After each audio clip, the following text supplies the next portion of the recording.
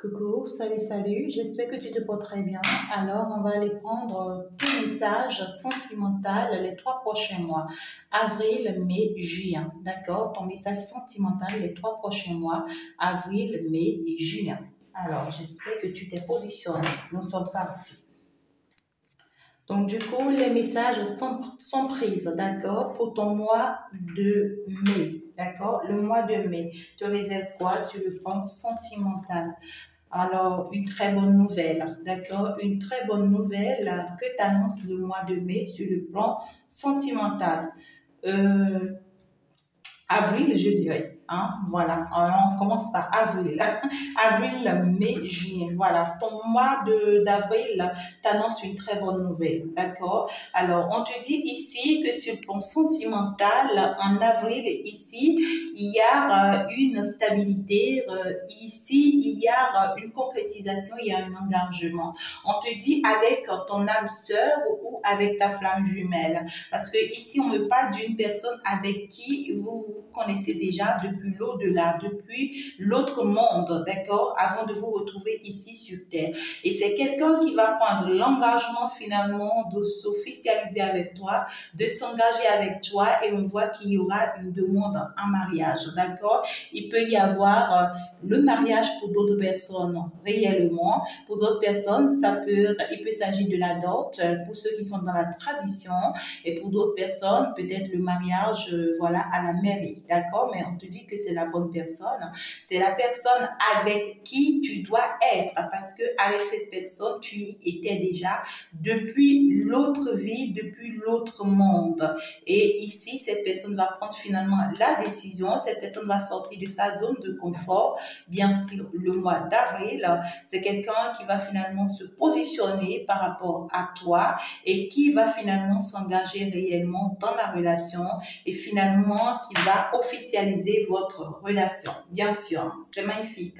Donc, pour le mois d'avril, tout va très bien se passer. Un engagement s'annonce pour toi sur le plan sentimental. Tu ne vas pas le regretter. Il y a une bonne personne ici pour toi. La bonne personne pour toi, c'est bien sûr quelqu'un qui va t'aimer énormément, avec qui tu vas te marier et tu vas rester pour toujours. D'accord? Magnifique. Alors, ici, pour le mois de mai, voilà, c'est maintenant je suis arrivée à mai. Voilà, avril-mai. Pour le mois de mai, on voit ici qu'en mai, ben, il y aura, euh, en fait, après que vous aurez à officialiser votre relation, et donc du coup, ici, ça sera euh, vu aux yeux de tout le monde. Et on va pas trop l'admettre, on va pas trop l'accepter. Il y a des personnes qui seront contre, qui vont vraiment se battre contre ça, qui vont chercher à vous accuser contre tout et tous. On n'aimerait pas du tout vous voir vivre cette relation. Parce que ici, on voit que tellement il y aura du romantisme après la concrétisation en mois d'avril, on voit que vous allez commencer par chercher à vivre ce, ce bonheur ensemble, mais ça sera mal vu. Ça sera mal vu par les autres. Et, euh, et, ici, on vous conseille, d'accord, en mois de mai, de faire attention, hein, de protéger un peu votre relation, de vraiment vous libérer des choses qui n'ont pas forcément lieu d'être et peut-être que vous êtes encore en contact avec des personnes, ou vous avez encore des liens avec certaines personnes, vous avez encore des relations avec certaines personnes qui ne sont pas du tout bonnes pour vous. D'accord? Donc du coup, on vous dit, en mois de mai, vous devez quand même prendre la décision de vous libérer des choses qui n'ont plus lieu d'être dans votre vie, parce que ce sont ces personnes que vous retenez dans, vos, dans, vos, dans votre vie, d'accord? Qui font, qui, qui, qui vous perturbent ou bien qui cherchent à déséquilibrer votre relation. Donc, après que vous allez vous engager, il y aura ici euh, un peu d'accusation de part et d'autre. On va chercher à vous déstabiliser de part et d'autre parce qu'il y a beaucoup de jalousie, d'accord? Et, et, vous, ça va permettre de voir plus clair dans le jeu. Ça va vous permettre de, de, de voir qui est qui et, qui fait quoi. Et ça va vous ouvrir aussi les yeux sur plein de choses, sur plein de situations ici. Donc, vous allez vraiment vous libérer par la suite, d'accord? Donc, du coup, le mois de mai sera un peu perturbant perturbante comme ça. Voilà. Sur le plan sentimental. Alors, pour d'autres personnes, peut-être que c'est une nouvelle relation. Vous allez rencontrer de nouvelles personnes et vous serez obligé de quitter l'ancienne personne ou bien les anciennes personnes pour les nouvelles personnes. Hein. Pour d'autres personnes ici, euh, vous allez voir plus clair dans le jeu de, de votre S. Euh, je ne dirais pas de votre S parce que peut-être que vous êtes encore avec cette personne actuellement. Donc, du coup, vous allez voir plus clair dans le jeu d'une personne et ça va vous permettre de vous éloigner de cette personne, de, de sortir des énergies de cette personne, de vous détacher, de vous libérer totalement des énergies de cette personne, ou bien de vous libérer de cette personne définitivement. D'accord? Alors, ici, euh, je pense euh, juin, d'accord? En juin, ça va se passer quoi?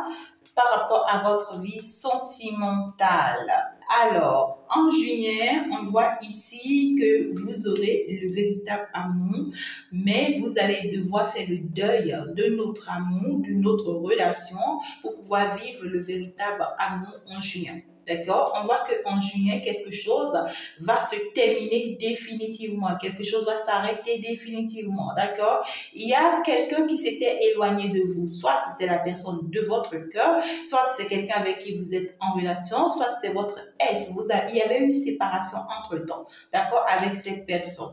Et peut-être que c'est quelqu'un qui était encore dans l'espoir d'accord, de vous retrouver ou de vous reprendre, ou bien vous, vous êtes encore, vous étiez encore dans l'espoir de ce que vous allez encore vous reprendre ou bien vous retrouver.